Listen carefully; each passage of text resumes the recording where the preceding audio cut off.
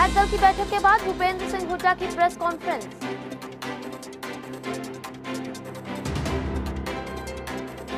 बोले हुड्डा, सदन में उठाएँगे किसानों की आवाज़।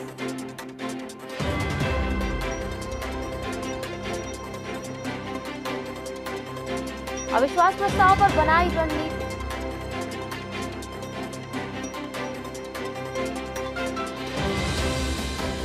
बोले हुड्डा, मैं सभ्यता और संस्कार से बोलता हूँ।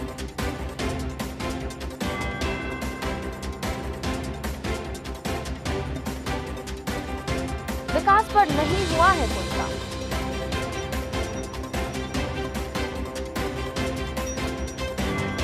पचहत्तर फ़ीसदी आरक्षण है युवाओं से धोखा।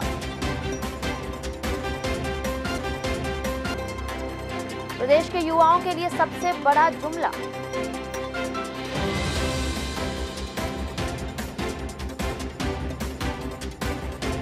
बिजली कंपनी में कितने लोग हरियाणा के लगे?